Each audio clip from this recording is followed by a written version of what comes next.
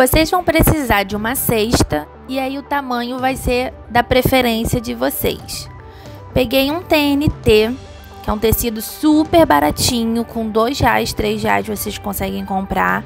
Marrom e também a cor vai depender de vocês.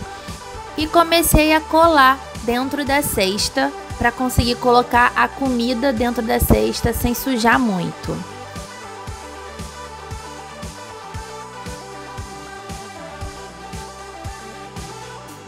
Com bandeirinhas coloridas, eu colei em volta de toda a cestinha.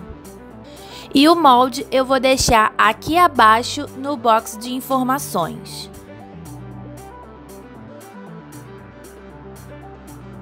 Com uma cola ou um barbante, cole na alça da cestinha e em seguida coloque mais bandeirinhas.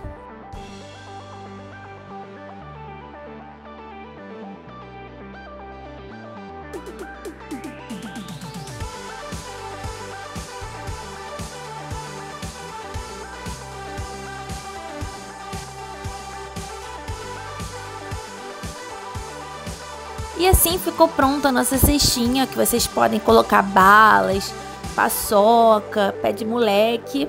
Espero que vocês tenham gostado do vídeo de hoje. Não se esqueça de se inscrever aqui no canal, de curtir e compartilhar esse vídeo. Um grande beijo e até o próximo. Tchau!